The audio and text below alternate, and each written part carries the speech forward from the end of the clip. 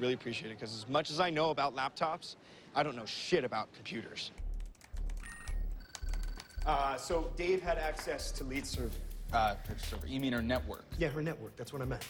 Okay, so we just take a flash drive and we and we plug it in, you know, get into her cloud, and then steal all her cookies, right? And then we're straight through the firewall, literally none of what you said made any sense. straight over the firewall. It's not like a physical thing you do. Okay, I don't know what I'm talking about here, dude. Just uh, can you do it? Yeah, it's done.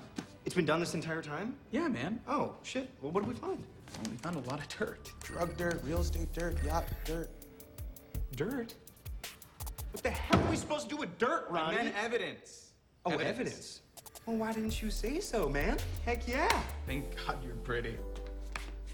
I'm really proud of you, man. Guys, we did some digging